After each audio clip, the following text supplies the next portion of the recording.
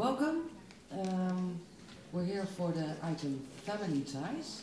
I'm here with Edney Silvestre. I hope I pronounce your name Oh, yes. correctly. He is the writer of the book uh, Als ik mijn ogen sluit. In Portuguese it sounds differently. Se eu fechar os olhos agora. Sounds more poetic. And uh, Bernice Chauly, she's the writer of the book Family Ties. No. Sorry? Oh, sorry. Growing up with ghosts, that's the, the theme. Um, you're an actor, artist, filmmaker, and uh, you wrote a long time on this book. How long did it take you? I, I started writing this when I was 18, uh, when I was in university in Canada, and it took me 23 years to finally put it all together and do the research and to have, I suppose, the strength to write this book. It was very difficult. It was difficult, yes. Yeah. Mhm. What made it so difficult? Um, it comes from grief because uh, I think the reason why I am a writer is because I lost my father when I was very young. And Hélène Cixous, who is a French Algerian poet, academic, also said, in order, to, she lost her father when she was very young as well, and she said, in order to begin living or writing, there has to be death. So in my case, there was a physical death, and that death um, evicted me from the world, and this book is my way of writing myself back into the world. And did it work? Yes, I think so. I Uh, thought it had taken me a lot of time. It took me 20 years to write my first novel. And uh, you you won. 23. Oh. Gosh. it's not a competition. I thought it, would t- uh, it took forever. And I don't know how you felt while you were writing it, but Mhm. um, several times during the process I stopped because I thought I'm I can't do this. It's too painful Yeah. mhm. and uh, it's it's too big a task for me. Right. what was so painful about writing your book? I use part of my personal memories for it, although it's not it's not autobiographical, but I use some of my memories. And uh, uh, as I told you outside, I left home very early um, to go move to Rio, and first I lost um, the contact with my parents and my brothers and my friends from my small town. And then I moved to Rio to study. I felt very lonely in the capital, uh, in Rio. And after sometimes I moved to Sao Paulo. Then I lose the few friends I had made in Rio. Then I moved back to Rio. I lost the friends in Sao Paulo. And then I moved to New York City, where I lived for 12 years. Um, and then I, I really lost touch with most people. And in the meantime, some of my friends died for several reasons. Uh, some committed suicide, uh, some died of illnesses like cancer or AIDS. Um, some of my friends died because of um, torture uh, by the military police. So there are a lot of losses, and uh, as as much as it hurt remembering them, it was also a relief to think that not them especially, but about these times, they they were alive somehow. They were permanent somehow. Yeah, I- yes, I, I agree. Um, when you when you write about your family, it's almost like you relive, you you, you live with them again. Um, you conjure them up, and you have to ask permission in a way to tell their stories. Um, this is because I lost my father when I was I was four, and I lost my mother when in 2007. So her death also freed me. The book begins and ends with death. Her death gave me a sense of freedom um, but also the, the, the purpose to complete the book. So it was in 2007 when I told myself, because over the years I've been writing and collecting stories and, and really not sure what I was going to do with it. Um, and then in 2007 I knew, okay, right, I really have to do this. I have to go back to India. I have to go back to my ancestral village. I have to go to the Punjab. And it was so scary because I don't really speak the language. Um, but I did, and it was, I came back a different person. I came back to Malaysia a completely different person. How long did you stay there? I'm sorry. Um, I was in India for about two weeks, And, uh, and it was enough. It was enough for me to get a sense, a glimpse, and, and a, a real insight into, into my other half, because I'm half Indian and half Chinese. So, yeah. could you uh, read a piece of your book so people have an idea? Okay, this is a this is a book in six different voices because um, I, I really wanted to to look at uh, the genre of the memoir in a different way to give voices to people who didn't have voices. Both my grand my grandmothers, my Chinese grandmother and my Punjabi grandmother were illiterate, and so I decided to also include their voices. So it's in six different voices. And uh, the part that I'm going to read is a monologue from my Chinese grandmother, so allow me to read it with a little flourish. This is a monologue. Ho Yungan, that's my grandmother's name. Come here, Benny, that's what she used to call me. Take your akong his breakfast, and if he complains again, I will ask him to eat at the coffee shop. Not salty enough. Huh? How much salt does he want? He drinks and smokes too much. He cannot taste anything anymore. That's why. He needs a new tongue. That's what he needs. Cook for him also not good enough. Sick lah, just eat. What more does he want? I tell you, ah, Benny, I used to take my fourth daughter, your auntie Lai, to all the brothels in town to look for him. All the men of his status at that time had mistresses. See how useless they are. Huh? At the Nam Hoi Uyghur Clan Association, all these men will be so well behaved, but when you see them at the brothels, you'll feel like killing them. Such good actors they are. Especially that man with the thick sunglasses.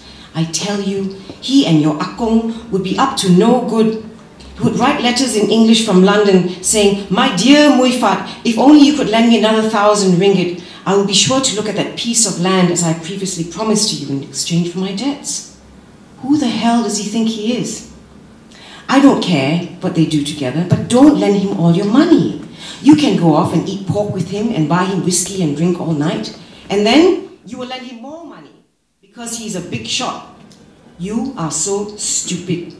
You think that man will send our children to England? No, you will have to send them to England because you are their father, not that man who makes promises to you, promises that he never keeps. That man with the sunglasses is not your friend. How can you not see that? You are such a stupid businessman. All our land, our shop houses are gone. That one on Hume Street, Sun Yat-sen stayed there, you know. Your father died there too. And the land in Chateau Park and the two houses, where is everything? How could you lose it all? You are a fool. I cannot believe I married a fool of a Chinaman. And if you complain about my cooking, the next time you say anything, I will throw the bowl at you. If you don't want to eat, don't eat. Mo sekla, I will give it to your pigs. Benny, you poor thing. I know you miss your papa, Surinder. He was so tall, so handsome. But when your mother told us about him, I was very angry. I said, How can you do this to your father after everything he has done for you, this Indian man? How can you marry an Indian man? But he could play mahjong very well. Benny, you must learn to play mahjong like your papa. Why do you keep going up to the third floor? The third floor is your favorite place, is it? What do you see up there? It is full of junk. I don't understand why you like all this junk. So much dust. So much dust. The past is full of dust. Thank you.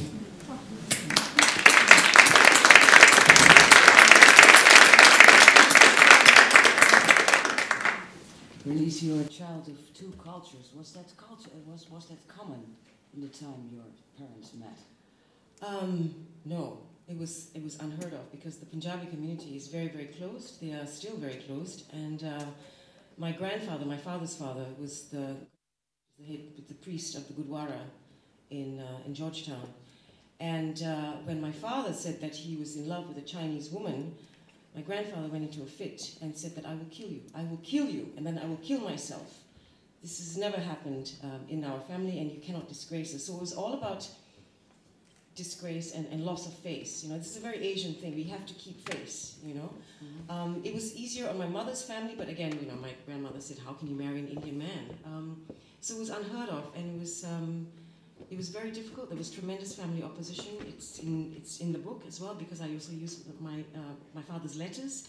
He wrote these incredible love letters to my mother. So I've incorporated that into the book as well. Um, yes, so it was, it was unheard of at that time. And how does, did that affect you? Um, when I was born, because I was the child of the first son, I was the peacemaker. And in Punjabi tradition, when a child is born, you give them tiger's milk. So my grandfather gave me tiger's milk. And he said, live like a tiger, be strong, live like a tiger. So I guess that was um, a way of saying, welcome to the family. You know, you are the peacemaker. But it was difficult growing up because um, I was teased. My name was a funny name. Nobody knew what it. It was just unusual, and um, I had great conflicts about who I was as a person. I hated my name when I was growing up. I just, I didn't like it.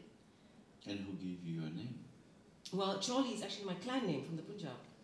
Um, when my father converted to Catholicism, because as a compromise as well, there was so many, uh, you know, he was Sikh, she was Buddhist, Taoist, and then when they got married, they converted to Catholicism. So I was raised Catholic. So when he changed his name from Surinder Singh, he took on the name Bernard Chauly, taking our clan name from the Punjab.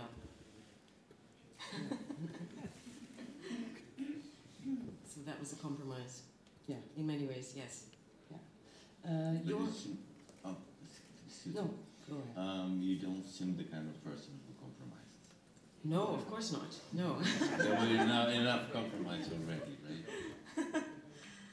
yeah. Um, no, but this. Um, what what what?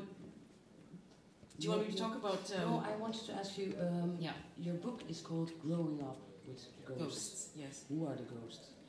Oh.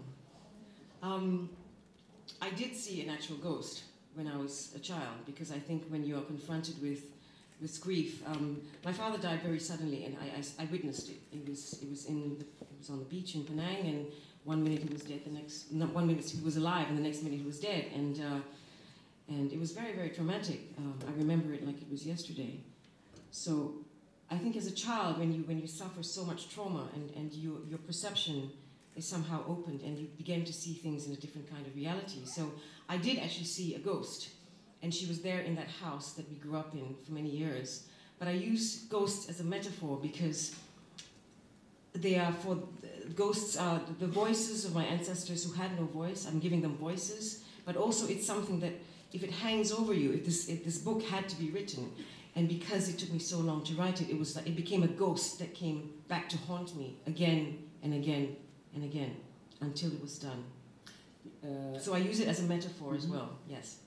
it's for grief. Yes. Um, Letting being it led, go. being led by a Yeah. history. Yeah. hmm Yeah. Um, how did your family history influence your life?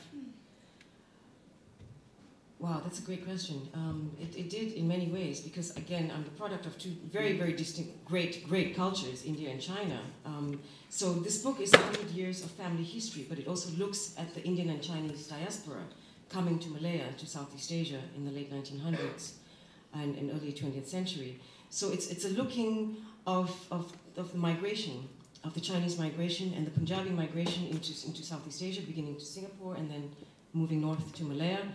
So I was, you know, as a product of these, these two cultures, I, was, I had to look at history. We have to look at history. And in Malaysia we, right now, there is a great contention with history because there is this, this, this great need for the, our politicians to embrace ourselves as Malaysian. Yes, we are one Malaysia, Malaysia truly Asia. But what does that mean, really? Who are we? And, and because I am a writer and because, you know, I was, I was carrying this grief for so many years, I was compelled to look at not just my family history, but the history of the region. So this, the book charts 100 years of my family history, but also the history of Southeast Asia, in many ways, from India, from the Indian partition, uh, um, to the First World War, to the Second World War, the Japanese occupation, because my family was very affected by the Japanese occupation in Malaya. So it looks at history as well, and, and, and to come to a kind of resolution where I go back to my ancestral village in, in the Punjab. So it was a, it was a journey in, in many, many ways. Personal history and, And- history of a, And the political history. yes. Yes. In your book, history uh, plays the history of your country. Yes, Brazil and I, I, plays a I very find big- interesting how um, we being from different cultures, we've just met here. Um, the main character of my book is a ghost. No, it's she. well, she is a ghost in the sense that she haunts him, them, the two boys, now men, and the story follows somewhat what happens to them uh, for almost 50 years. And when uh, what happened in April 12, 1961 is that they were 12 year olds um, and there were swimming by this lake and they were playing and running when one stumbles over something, which is the body of this beautiful blonde woman that was assassinated had one of her breasts cut off. However, the you don't know which one of the boys has survived. You know one of them is going to die, but you don't know which one is telling the story. And it took me about 20 years because I could not find the way to tell the story until I was once in a, in a hotel in Paris, completely uh, unaware of what I was doing. I had given up, supposedly, quote unquote, given up writing the novel. Was just too big for me. When I, I heard his voice, and he told me how to tell the story. He told me, if I close my eyes now, I can still feel her blood sticking to my fingers. And it stuck to my fingers, and it stuck to her blonde hair, her high forehead. And that's so I understood he was telling the story to me, and she was a ghost. She was this woman that haunted him all his life.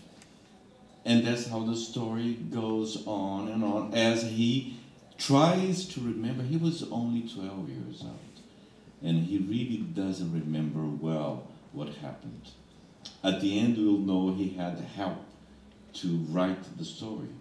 But uh, what you have all along is, again, this ghost. And this ghost whose image is transformed chapter by chapter as he remembers and makes this image clearer and clearer. And you understand that this woman, which is taken uh, at first as the city's whore, is not exactly that. On the contrary, she has been a victim of several situations, but you don't know yet as the book starts.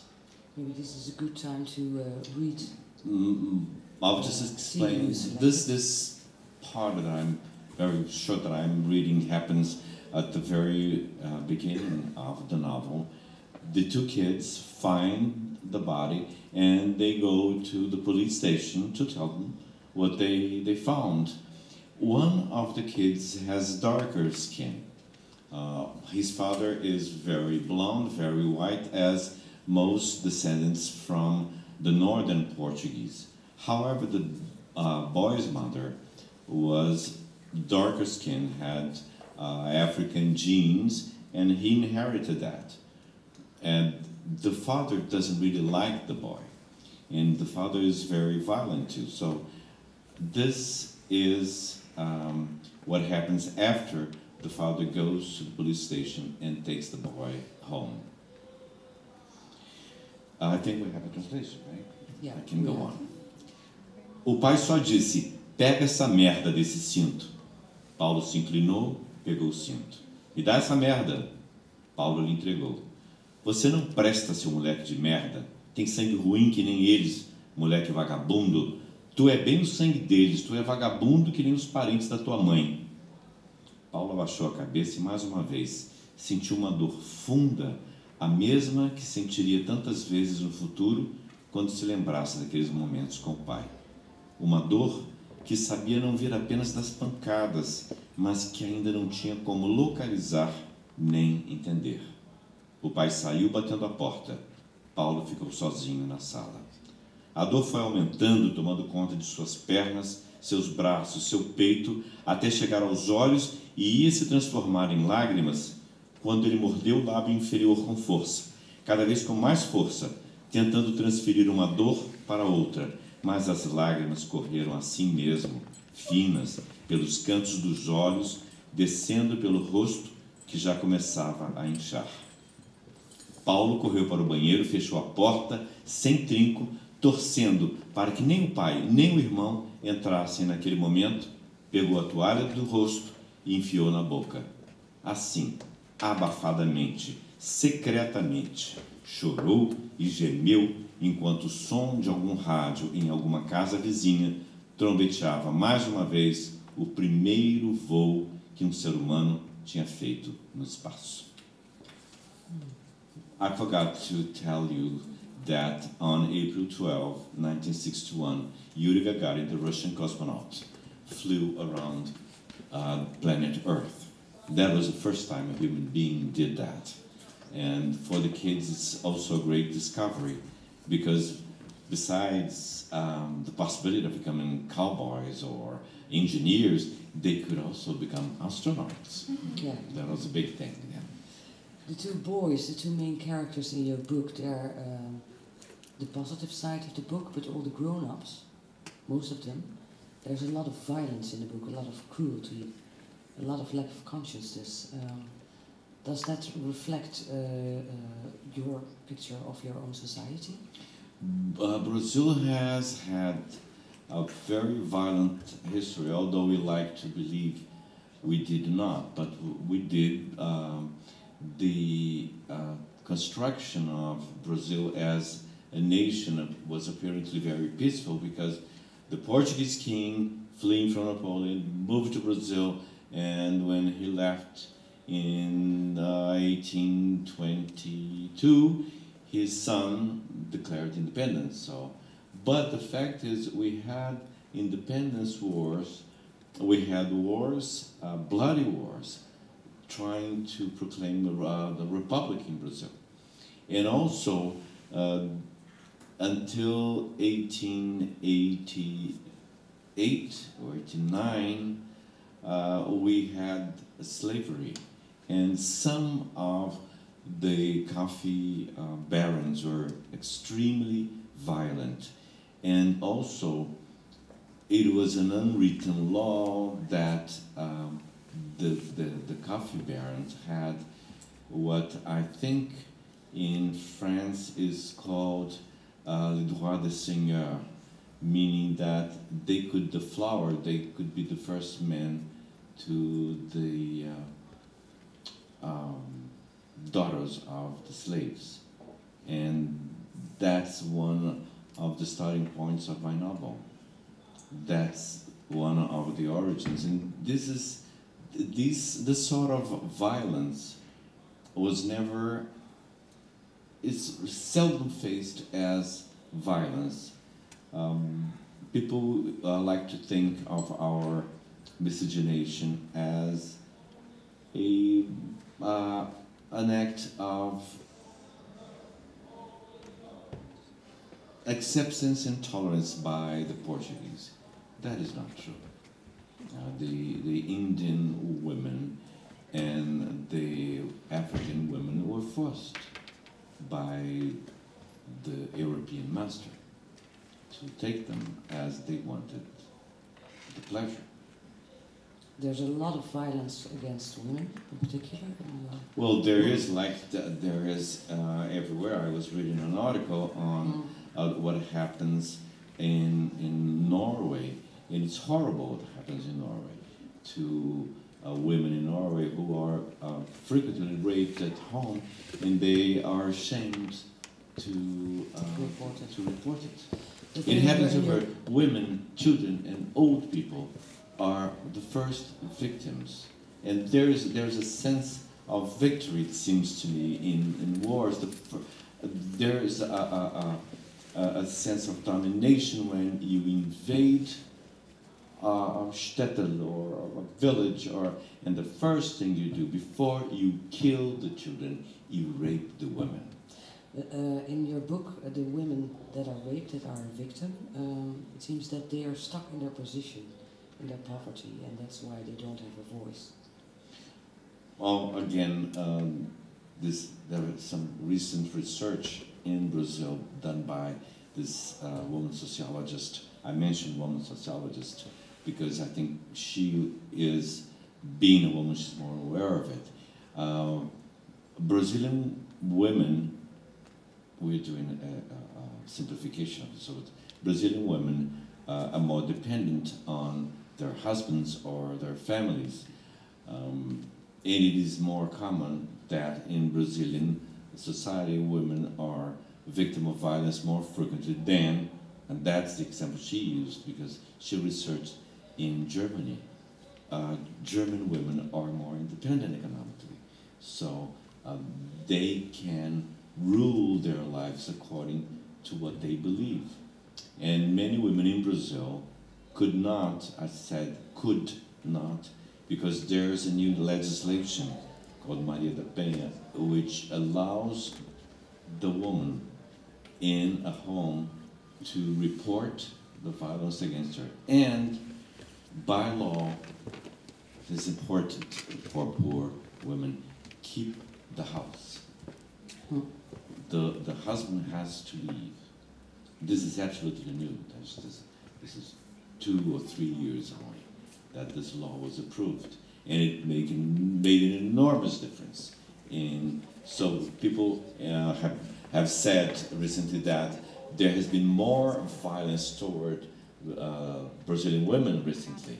And actually, there's more women reporting the violence that was there already. Now they can do it, and they can keep the children and they can keep the house, which they could not before.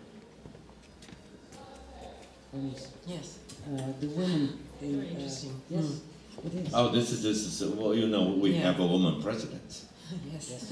a woman who was who was We've- tortured. We've, we've, we in Holland, we've never been there, huh? oh, Not yet. we can we well take our example. Uh, the women in your book, Mhm. um, there is a lot of loss in your book, a lot of people who die, and the women, they stay behind. Mm. Uh, can you tell me about the curse in your book? Um, again, it's it's uh, a, curse. It sounds so terrible, you know, and and uh, it's just and a curse that has to do with snakes and snake worshipping. Um, I know, and it sounds really far fetched and bizarre. But after my father died, um, my mother was left with, with three children. I was four, my sister was one, and she was pregnant with my brother. She didn't know it, and um, she was going to abort him, but she didn't because my uncle said, "Please don't don't do this." And uh, he turned out to be the spitting image of my dad. So it's, uh, it's, it's a blessing in a way, in, in, many ways, of course. But yes, she was left with three children um, to care for, and uh, she became a very strong woman. She was involved in human rights, and uh, she was kind of like my, my role model in a way. Um, but she carried on, she carried on, and she carried on, and, and I guess I, I am what I am because I owe so much to her. Um, but she dealt with it in many ways. She wrote this, this when she was pregnant with my brother, she actually wrote this, this journal called Serene and I for Bernice, Janice, and Baby. And this is, is reproduced pretty much um, in its entirety in, in the book. So she actually turned to writing as well to find some strength and, and to tell her story. So I guess in, in, a, in a way, my mother did that before I did. And uh, so it's, it's, um, it's a way of honoring her in many, many ways as well. So the curse, yes, let me get back to the Mhm. curse. After my father died, um, it was very, very sudden, and then my uncles died one by one. There were three sons in the family. One died in the 80s. His brothers. Yes, his brothers, yes. There was Serinda, Devinda, and Berinda. And one by one they died. And then after the third death, my aunt, my brother's, uh, my, my father's sister, started whispering, It's the curse. It's the curse from the Punjab. The snake goddess is angry with us. And, uh, and I heard this year after year after year. And uh, I was like, what does that mean? The snake goddess is angry with us. I mean, I was raised Catholic. I went to church every week, you know, and it was just bizarre. This, this whole notion of, of serpent worship and, and, and how it's associated and how this, these terrible things could have happened just because we didn't worship the snake goddess. So it was just very, very bizarre. So knowing this and, and hearing more and more stories, because she was the only one, again, with, with, um, with any kind of autobiography uh, or memoir, you have to have access. And you have to interview people who are willing to be interviewed. Not everyone in my family was willing to be interviewed. And of course, the whole snake curse was something that was not talked about. No one talked about it, except for those who felt it was necessary, because keeping it silent was just a bad omen. And then my grandfather died, and that was it. All the men in my family were dead. And that's when she said, Okay, this is what I have done. I have gone to the priest, and this is what he says the snake goddess is angry with us. So when I went back to the Punjab, then I knew what it meant. Because when my great great grandfather left India in 1908, they came from a village where the snakes were the guardians of our land. So the tradition had been there for generations. And I did a lot of research into this, and, and I, I found books that, that looked at sort of Indian serpents, Indian serpent lore.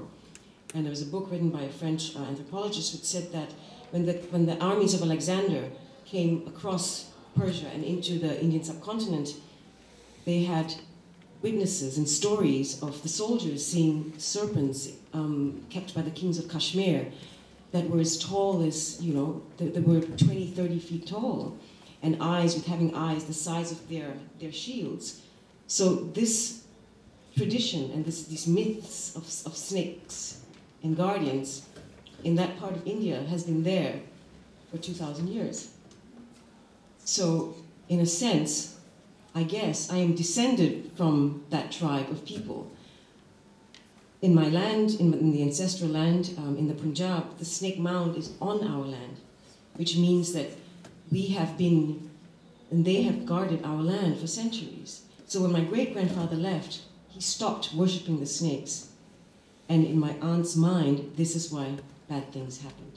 So when I went back to India, I think I was the first in two generations to give milk, eggs, to the snakes. So I hope to think, I would like to think that it stopped. Yes. You stopped the curse. You grew up more with your um, Chinese family Yeah. than your Punjabi because your father died. Mhm. Um, was that the, the, the, the reason why it took you so long? It's almost, if you read the book, it's like you're building a picture of your father. Mhm. It's like a, a, a mourning Mhm. daughter Mhm. for your father. Is that why you say that when your uh, mother died, it was like A sense of relief. Yes, Yes. it was a relief and also a release because she was she had cancer. It was it was very very painful and very difficult. But yes, I mean I grew up Chinese, yearning, longing to be Indian. You know, so I had a Chinese childhood, but I longed to be Indian, and uh, that longing stayed and stayed and stayed with me, and it, it sort of manifests itself in, in, in so many different ways because it is a quest for identity. Like, who am I? Really, I'm Malaysian. I have this funny name. I'm half Chinese, I'm half Punjabi, but what do I know really about being Punjabi? So, again, it was, it was a lot of research, it was a lot of asking questions, it was going back to the Punjab and going back to the land of my ancestors. And it's an, it was an incredible feeling. I, I landed in Amritsar on Christmas Eve, and I was just, I was so moved. I was, you know, there was no, there were no trains from, from Delhi to, to Amritsar because it was Christmas. So I had to rent a car, and it took me 12 hours to drive from Delhi to Amritsar. And when the sign, Punjab, was there, you know, and I just, I felt so emotional. I thought, my God, I'm home. Not really home, but I'm home, you know. This is, this is where they came from. And seeing men in turbans on the streets is just, wow, it's, they're such a proud people, the Punjabis. They're really tall and strong, and it was just so, it was just so affirming. And on Christmas Day, I went to my, there's only one living relative left in, in Verka, and uh, they're called the Chawlas. So the Chaulys and the Chawlas are kind of related. And all I knew is that they have the Chawla sweet shop. It's in Verka, which is just outside Amritsar, and that's it. No address, nothing. So I had a guide who was wonderful, and he said, okay, um, we'll go and find it.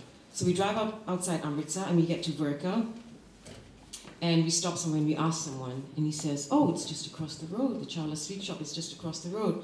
So we go across the road, and then I get out of the car and I see him, Bhagwan Singh. my only living relative, and he was like, Sat Sri Akal, Satsrikal, Bapuji.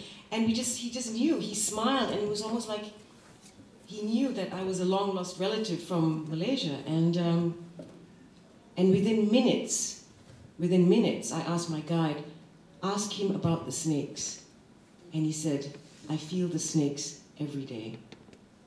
Every day. And that was it. I was like, oh my God, this is, this is what I came for, you know? This was an answer. This is something that I, I needed to know. You, And I got it. and did you you feel like you lift the curse? I would like to think so. I mean, uh, you know, it's, it's, I know this is, uh, but there is a snake temple in Kuala Lumpur, and I go to it regularly. And, you know, this is very Hindu. It's very Hindu because, again, snake worship is very Hindu, and, but my, my ancestors were Sikhs.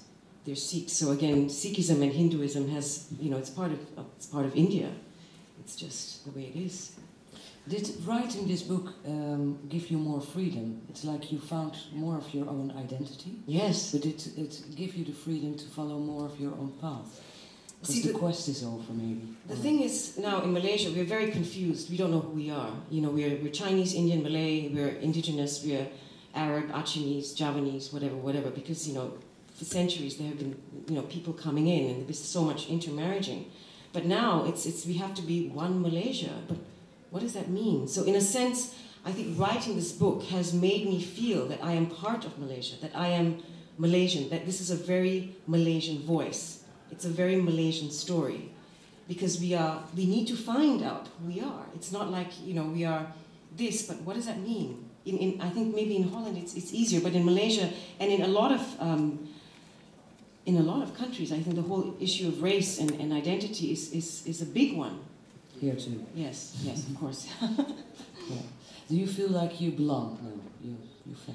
i feel that i now yes you know in a way in a, in a way and i think i had to write this book to to experience that and to really feel that i belonged in, in my country Can I Yes. add something that's interesting about uh, Brazil and our uh, ethnicity? There was a, a- I, I like to mention research because it has been showing us for the past 20 years the changes, the profound changes we had. And this um, um, ethics and uh, this professor from the University of Minas Gerais did a research on our ethnicity. And he found out uh, through this research that there is no Brazilian with an European aspect look that does not have African genes, as well as there is no Brazilian with African looks that do not have European genes. We are such a mixed society. You're just saying, what are we Malaysians? Um, we Brazilians know that we are this mixture.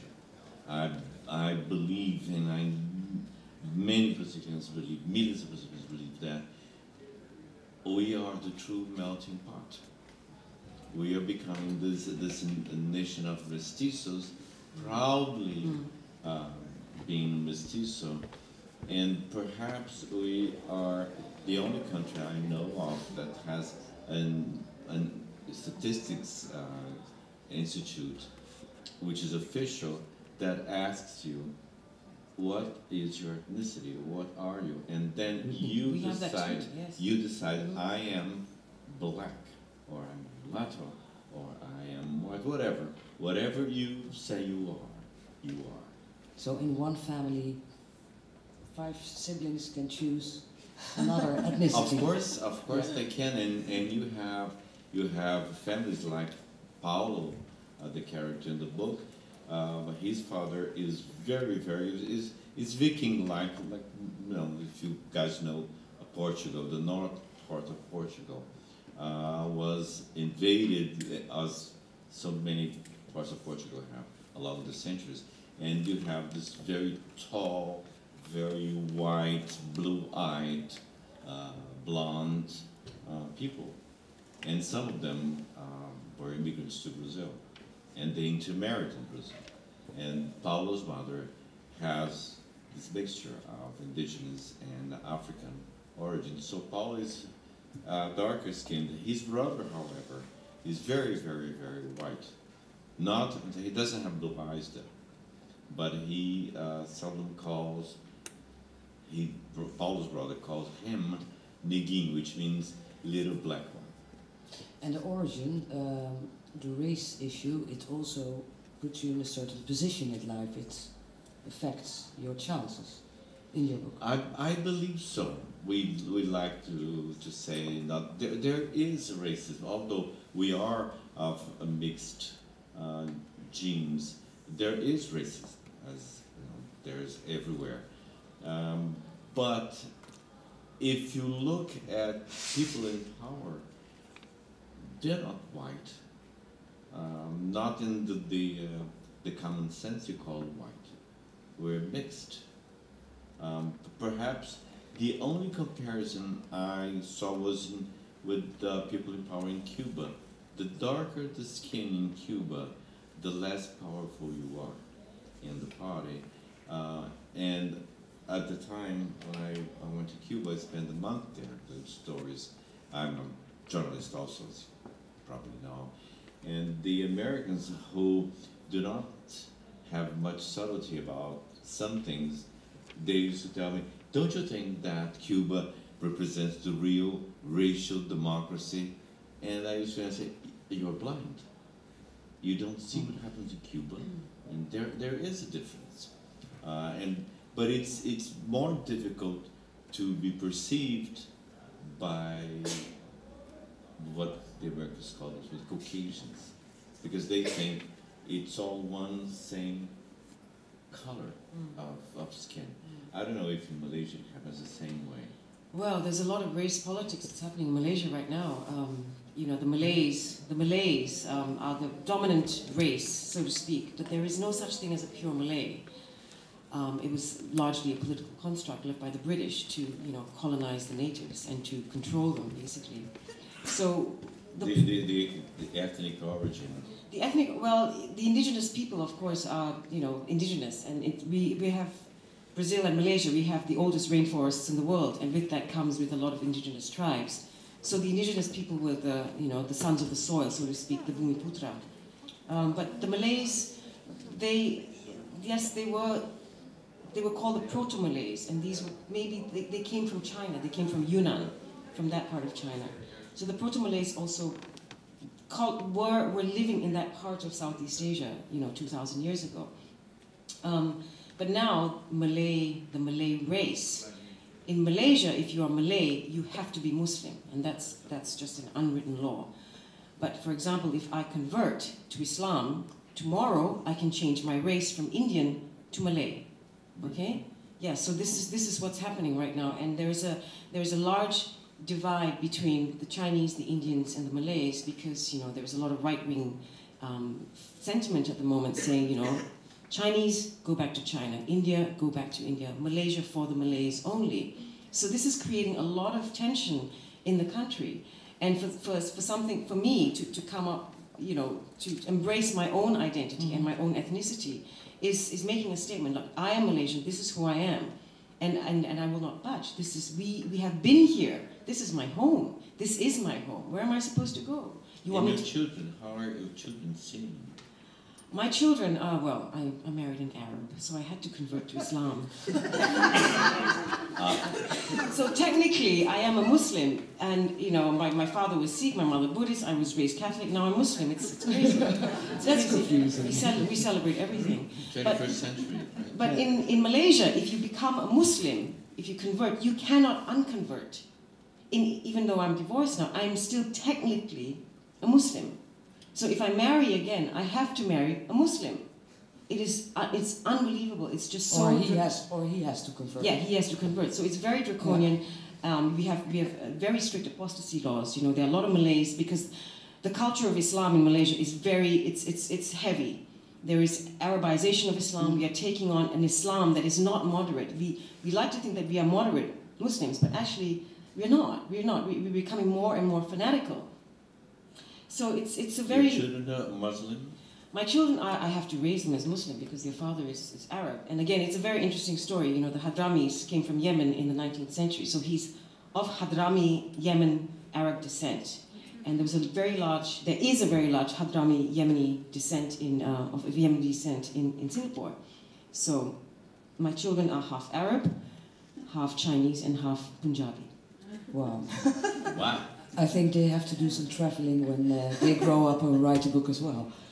Yes, let's hope. Let's hope so. they can tell their own stories. But yeah, I mean, going back to you know to race politics and, and, and, and that sort of it's it's it's very it's a big issue in Malaysia, and there is a lot of um, there's a lot of tension. There is a lot of tension, and we are moving to a, a general election this year. Um, we have a very corrupt government with a very corrupt prime minister. So it's um, it's going to be a very interesting test for, for Malaysia. We have not had a bloody history like Brazil, um, but we have been colonized by Brazil and the Dutch and the English and the Japanese and then the British again. Um, so, but we haven't had a bloody history, so to speak. Um, so, in many ways, Malaysia is very different from Indonesia. It's very different from Cambodia. It's different from Thailand, which was never colonized, and it's very different from Burma. So we are this kind of, you know, welcoming, very cosmopolitan, very multiracial country. But deep down, there is a lot, there is a lot of resentment and anger and tension. I'm sorry to uh, end on this uh, unhappy note, but I've just been told that uh, unfortunately the time is up. I thank you very much. Thank you. Yeah. Thank you. Yeah. Thank you.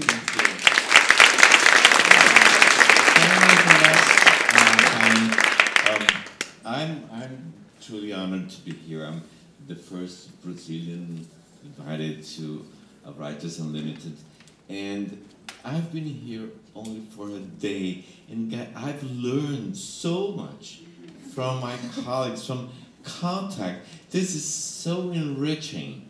I, I really thank you very much for bringing me here. Thank you.